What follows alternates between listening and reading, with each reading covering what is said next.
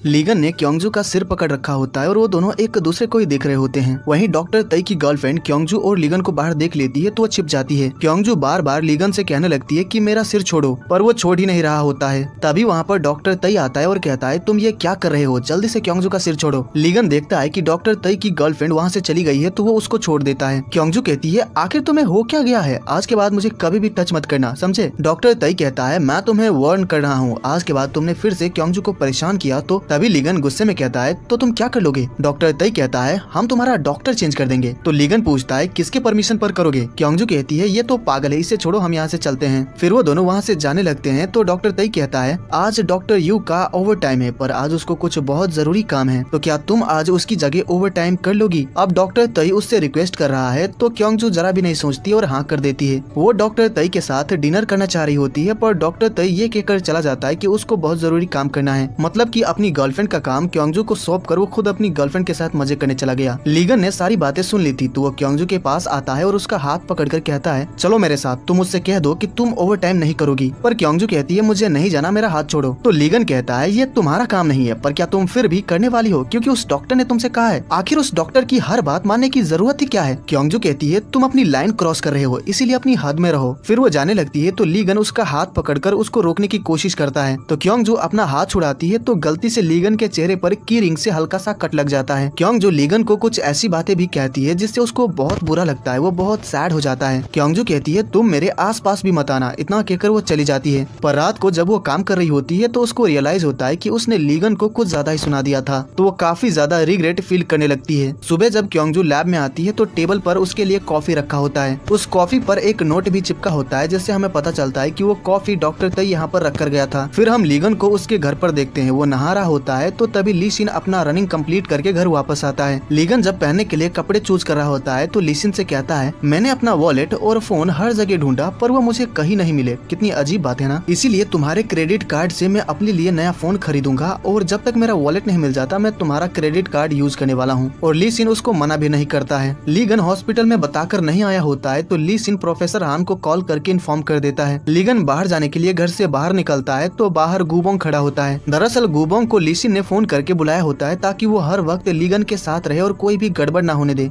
फिर हम सयान को देखते हैं जो कि किसी को कॉल करती है पर वो फ़ोन नहीं उठाता है। सयान टीवी ऑन करती है तो उसको पता चलता है कि आज लिसिन का सेमीफाइनल मैच है। तो वो जल्दी से तैयार होती है और स्टेडियम के लिए निकल जाती है। लेकिन रास्ते में वो एक ओल्ड लेडी की मदद करने लगती है पर तभी वहाँ पर दो लड़के आकर सयान को छेड़ने लगते हैं, साथ ही उस ओल्ड लेडी को भी परेशान करते हैं। पर सयान उन लड़कों से कुछ नहीं कहती है और उनको इग्नोर करके ओल्ड लेडी की मदद करने लग जाती है। वही पास में हम क्योंगजू को खड़ा देखते और उसने सब कुछ देखा था। सयान जब उसको देखती है तो उससे बात करने जाती है, पर क्योंगजू उसको इग्नोर करके चली जाती है। क्योंगजू जब घर पहुँचती है तो देखती है कि सयान ने खाना खाने के बाद बर्तन भी नहीं धोया है और ना ही बिस्तर को ठीक किया है, जिसकी वजह से उसको सयान पर काफ़ी गुस्सा आता है। फिर हम लीसिन को देखते हैं जो की मैच की तैयारी में लगा होता है। तभी वहाँ पर मिस्टर हॉन्ग लीसिन के लिए नए जूते लेकर आते हैं और उसको पहन लेने को कहते हैं। पर लीसिन की मोम उनसे कहती है की लीसिन वो जूते नहीं पहनेगा, क्यूँकी नए जूते में लीसिन कम्फर्टेबल नहीं होता है, जिसकी वजह से उसका मैच भी खराब हो सकता है। लीसिन के मोम डैड कोच से मिलने चले जाते हैं तो मिस्टर हॉन्ग लीसिन से कहते हैं स्पॉन्सर्स बहुत ज़रूरी होते हैं क्योंकि उनके बिना तुम स्पोर्ट्स नहीं कर सकते। इसीलिए इन्हें पहन लो क्योंकि तुम्हारे सीक्रेट्स को छुपाने के लिए हमें पैसों की ज़रूरत है। लीसिन से मिलने के बाद जब मिस्टर हॉन्ग जा रहे होते हैं, तभी वहाँ पर लीगन भी आ जाता है। तो मिस्टर हॉन्ग उससे पूछते हैं की क्या उसने चासियोन से कॉन्ट्रैक्ट साइन करवा लिया? लीगन कहता है, मुझे पता चला की चासियोन यहीं पर प्रैक्टिस कर रही है तो मैं उससे कॉन्ट्रैक्ट को लेकर ही बात करने आया हूँ। अगर मैंने चासियोन से कॉन्ट्रैक्ट साइन करवा लिया तो आपको अपना प्रॉमिस पूरा करना होगा। मिस्टर हॉन्ग कहते हैं, तुम इसकी जरा भी चिंता मत करो, क्योंकि मैं अपनी बात से कभी नहीं पलटता। फिर लीगन चासियोन से मिलता है, जो कि उससे पूछती है कि क्या वो ठीक है। लीगन उसको बताता है कि वो अब ठीक है, और ये भी कि वो यहाँ पर बिग पिक्चर एजेंसी का कॉन्ट्रैक्ट उसके साथ डिस्कस करने आया है। चासियोन कहती है, मेरी विश थी कि मैं आपके साथ टेनिस खेलूं तो क्या आप ट्राई करना चाहेंगे? हम दोनों एक ही टीम में रहेंगे, और अगर हमने एक भी सेट जीत लिया तो मैं कॉन्ट्रैक्ट साइन कर दूँगी। लीगन इसके बारे में थोड़ा सोचता है और हाँ कर देता है। लीगन चासियोन के साथ खेलना स्टार्ट कर देता है, वही लीसिन का सेमीफाइनल मैच भी स्टार्ट हो जाता है। लीगन एक बार भी अच्छे से सर्व नहीं कर पाता है, वही लीशिन सीधा एस स्कोर करता है। ली गन एक भी बॉल को ढंग से रिसीव नहीं कर पाता है, यहाँ तक के बॉल को टच भी नहीं कर पाता है। वही लीसिन काफ़ी अच्छा खेल रहा होता है, वो बहुत सारे पॉइंट्स स्कोर करता है और जीत जाता है। पर ली गन आज पंद्रह साल बाद टेनिस खेल रहा है, जिसकी वजह से वो बहुत गंदा खेलता है और वो हार जाता है। क्योंगजू की नींद खुलती है तो उसको पता चलता है कि वो कुछ ज़्यादा ही सो गई। वो जल्दी से प्रोफेसर हान को कॉल करके पूछती है कि क्या उन्होंने लीगन का थेरेपी सेशन स्टार्ट कर दिया है? प्रोफेसर हान बताते हैं कि उन्होंने सेशन पोस्टपोन कर दिया है, क्योंकि लीगन लीगन लीसिन के टूर्नामेंट में गया है।